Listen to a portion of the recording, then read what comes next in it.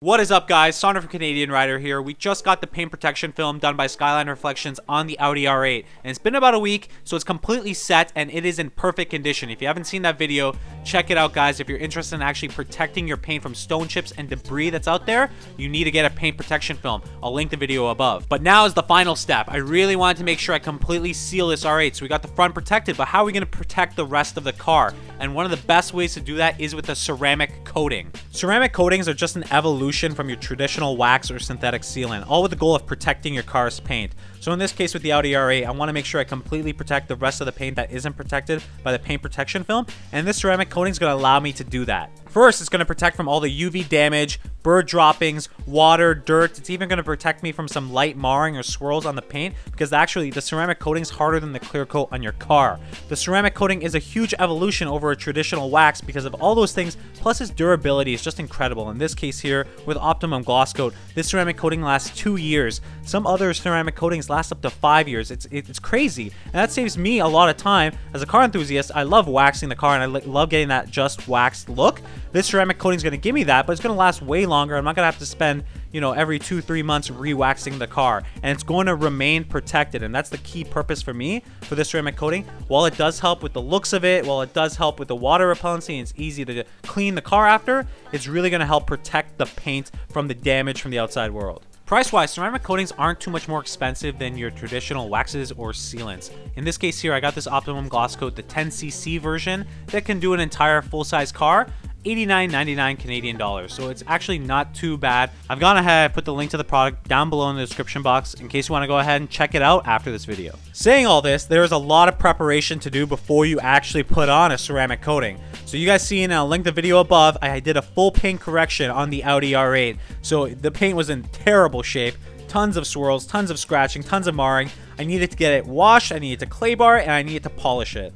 This is going to ensure that the paint is at its absolute best condition possible, that all the scratches and defects are out of the paint, there's no contamination baked onto the surface of the clear coat, so it's just the surface paint that is available to be bonded with the ceramic clear coat. And it's super important that the paint and the ceramic clear coat are the only things in between themselves so there's that chemical bond so you can get that actual advertised durability because if you're going to be applying a ceramic coating on a car that you know, hasn't been clay barred, hasn't been polished, you're not going to get that type of durability that the product or the manufacturer is claiming because it's not properly chemically bonding to the clear coat. Now, once all that jazz is done, what you're going to do is make sure that you start one section at a time. You're going to go ahead and put the syringe needle on the tip of it, and what you're going to do is take the applicator pad, you're just going to put maybe 10 to 12 drops of this coating on this foam applicator pad on the edge. And what you're going to do, once you put that 10 to 12 droppings, you're going to place your pad on the paint and you're going to go ahead and massage and work that in.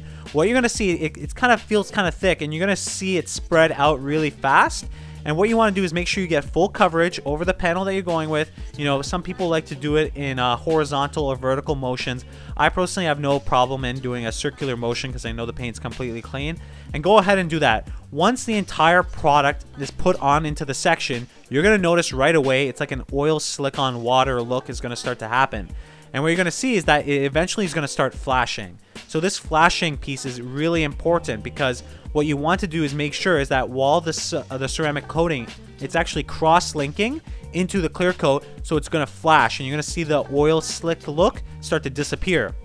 Now, what normally happens, depending on the humidity and the temperature, in my time here when I was applying the ceramic coating, it was about 30 degrees Celsius. It was actually flashing quite quickly. So about, you know, 60 seconds, I saw 80% to 90% of that oil slick on water look started to disappear. And this is about the right time now to go ahead and take a very clean, low pile microfiber towel and you're going to very lightly and gently just kind of go over the high spots and the high spots are the pieces of the ceramic coating that are, have not flashed yet. And you'll notice that the oil slick on water kind of look. And you're just to lightly buff across the entire section that you did. And what's actually happening is you're spreading that um, oil slick on water or that ceramic coating that hasn't flashed yet because it, that those sections that haven't flashed is actually too much ceramic coating. So what you're doing is actually spreading that out across the working area and it's allowing it to flash right away. And that's it. So once you've applied that one section and you go ahead and give it that buff, the ceramic coating's on there now. and you're good. It's super easy to apply, and that's one thing. A lot of people are like, oh, ceramic coating is super hard to apply. No, they're actually super easy, super straightforward, as long as you follow the instructions and make sure that you're doing one section at a time. So now all you're going to do is take that section and just repeat it across the entire car. Now in this case here, I'll point out Optimum says not to put this on your glass surfaces, so I didn't. But I went ahead and put it on all the painted surfaces and on the uh, PPF film from 3M. It took me about an hour to go ahead and apply this to the entire car and to the wheels. I applied it to the wheels as well. And for the product to flash and for me to like lightly buff it off with the microfiber towel. So some learnings I had applying this ceramic to my R8, one is actually you don't need that much product. So uh, the product goes pretty far along, guys. So you want to make sure that you maybe use 10 to 12 drops and you work that product in in the entire section. And just know, as long as you could see it coming on there and everything's going on fine and you'll know when it's running out of product, you're good. So don't overuse the product. Arguably, the most important piece of advice I can give you guys is not to do more than one section at a time because what's going to happen is, let's say you go ahead and apply a section of the ceramic coating and it's flashing and you let it flash for too long without wiping down any high spots, those high spots or that extra ceramic coating, it's going to be stuck there. You're not going to be able to buff it off and the only way you're going to be able to actually remove it is to use an orbital polisher or a dual action polisher and to actually polish that section off. So I'm going to take it out in the sun for you guys just to check it out and it looks beautiful. You can really tell that liquid look that the ceramic coating gives and now I know it's completely protected. So this car came from a massive journey guys. It was destroyed, um, full of swirls and scratches. We paint corrected it, we put the paint protection film on it and this was kind of the last step to get it completely protected from the elements is the ceramic coating and it looks beautiful on this car. I am super happy as an OCD detailer freak.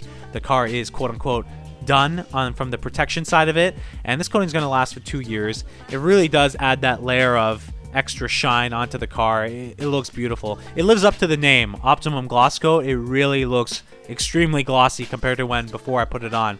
A lot of that has to do with the polishing but a lot of that pop is coming from the ceramic coating. So I hope you guys enjoyed this video. I know a lot of you guys want to protect your cars or motorcycles and what is one of the best options to do it is a ceramic coating. I love this coating. I think ceramic's the way to go, guys, especially if you want to, you know, save time, not reapplying waxes or sealants every two, three months. I know everyone's busy, and this is going to give you actually the best protection and more advanced protection than those products anyway.